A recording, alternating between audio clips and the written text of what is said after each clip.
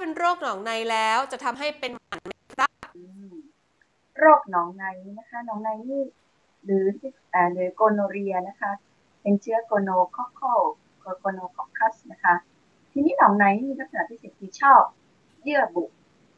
เวลาอยู่ในฝ่ายชายก็เข้าไป ที่ในเยื่อบุเอื้อในในทางเดินปัสสาวะ และไปอยู่ที่ต่อมลูกหมากอาจจะเกิดต่อมลูกหมากอักเสบค่ะนะคะนี้ก็จะเกิด การอักเสบลูกมันแค่อักเสบก็ได้เนื่องจากมันชอบเยื่อบุดังนั้นก็สามารถทำลายเยื่อบุทั้งหลาย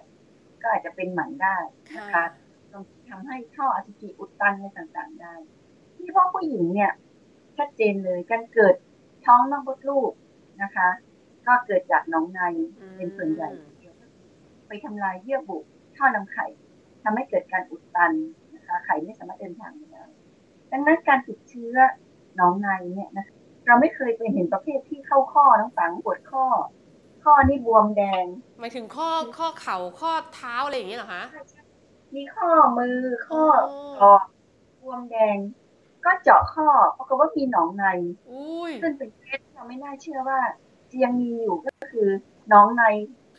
เอ่อมันเข้าไปในร่างกายเข้าไปกระแสเลือดแล้วไปอยู่ตามข้อเป็นข้อ